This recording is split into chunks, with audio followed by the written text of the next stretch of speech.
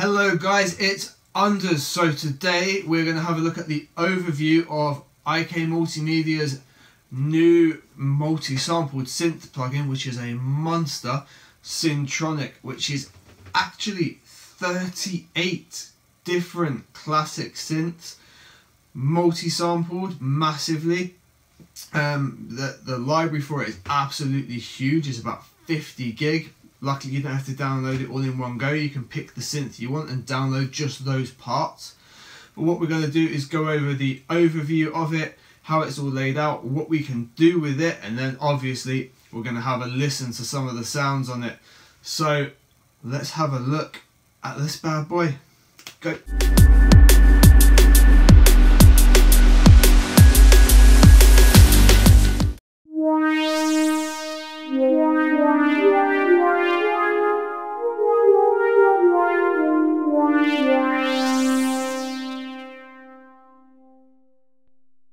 Okay guys, so here we are with Syntronik open up for the first time. Now, what we see first here is a nice list of synths down the left hand side. Filters, which is actually the category filters for different uh, presets that are already here.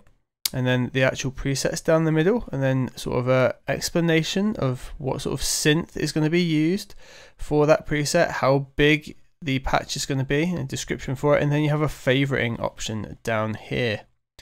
Now when you install this plugin these are all the presets that show up um, just this few dozen here okay there is a 50 gig download library that needs to be downloaded and installed for all the other patches. I will go over how to do that in the following video. This is just going to be an introduction to what you get and how to go about using Syntronik for the first time. Now, like with most plugins, we can double click and it's going to load our presets. So right here, we've got this sweeper open.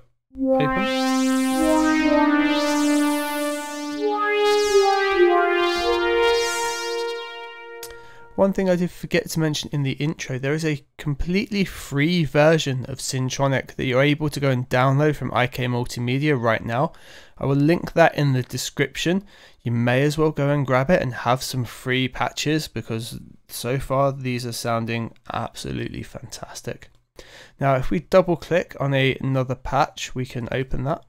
And you see there's a short loading time here where it grabs the new samples and now the new patch is loaded.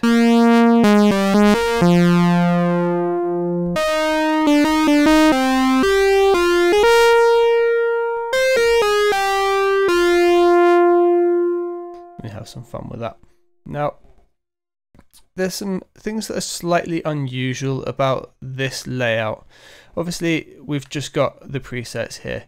If we were to then click on A after we've loaded one, it's going to give us the layout of that particular plugin that we have loaded. So here we've got this uh, Bully 3 saw loaded. And now if we are to click on here, we'll be able to see that particular plugin and we can edit it from there. And each of the 38 that are emulated all have their own GUI based on the originals. Now further over here to the left of the A, B and C, we've got this. Now this is pretty much your layering system. So you can have split keys, for example, if you're playing on a full 88 strip, you can have uh, preset A just play down here on this lower octave, and then you could layer the other three together, or you can create layered stacks that are only available in certain octaves, which is a really great feature. It's going to allow you to create really deep and in-depth patches as well as fantastic performance patches. So you can do a lot with a single uh, session on the keyboard just by switching up to different octaves. You can then obviously set the values of that plugin. So playing in a higher octave may not trigger a higher octave of a different sound. It will in fact trigger the area that you are wanting to play. So you could play the lower octaves of two instruments, for example, but with two different octaves on your keyboard. Now I only work on a really small desk, so I have a small key set, so I've only got two octaves available to me. So for example, I could have two things set up to two different octaves and get that, or I could layer um, one to be on one octave and then have two synths to play on the higher octave and thus giving me access to a lot more playability. It's really nice to have that introduced. Now if we go across the top here, we can obviously see we've got the preset menus here. We can just click that and then we can also get a list of the presets rather than having that preset view like we had before. If we click on the little image next to that, it will bring us back to this with the full explanation and we're able to see the different synths there down the side. Continuing across the top, we've got the fader section here.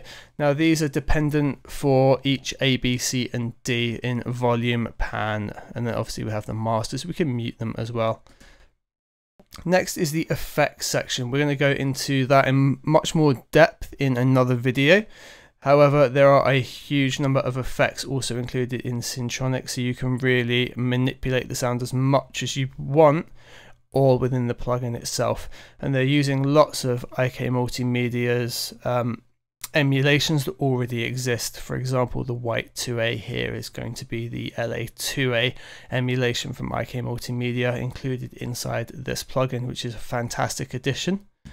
We then have an arpeggiator. An arpeggiator is also per loaded um, sampler, per loaded synth, apologies for A, B, C, and D. So you can have a multitude of different arpeggiations going on, or you can have something non-arpeggiated as well as something arpeggiated layered with it.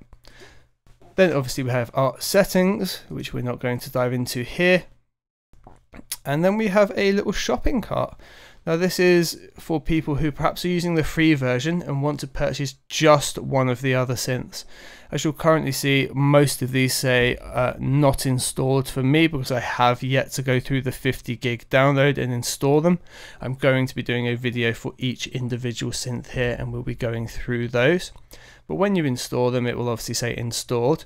Uh, in the case where you don't own them and you're just using the free version, it gives you the option to purchase here. They're currently all listed at 49 euros. I don't know if that is subject to change at all, but that seems a fair amount for each individual synth there. So, I think let's just have a listen to some of these patches. Um, one thing to note is the interesting drift engine that's introduced in this plugin. What the drift engine is doing, it's taking the samples that we've got and then going in between the frequency spectrum where you would expect it to be. So in a lot of these old synths, you'd be able to play a single key and it would hold that note really well.